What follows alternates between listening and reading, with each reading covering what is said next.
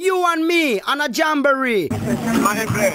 Yeah. Was, a, was a person named called Machuki. You know, I used to love to listen. Foundation. Very simple. Yeah, man. What, what do you have to say about Conway?